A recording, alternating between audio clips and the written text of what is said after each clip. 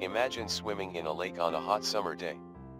The moment you leave the water, you feel chilly and get goosebumps. The reason behind this is when we are cold, tiny muscles in the skin contract, causing hairs to stand on end resulting in little bumps.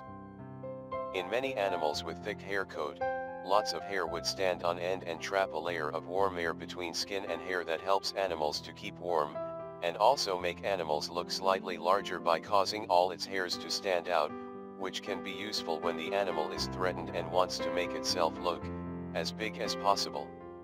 In humans, this reaction is useless as we don't have hair coat, but goosebumps persist.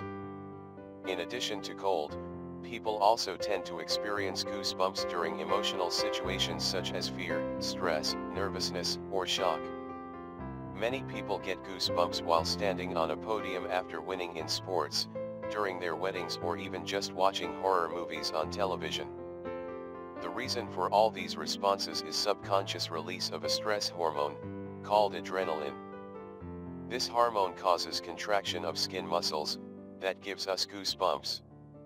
It also causes sweaty palms, increase in blood pressure, or feeling of butterflies in the stomach. Since goosebumps are a response to fear, stress or cold, no specific treatment is required.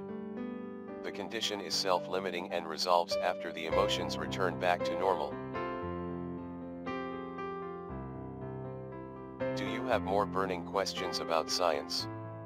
Keep watching and subscribe here. Thank you. Thank you.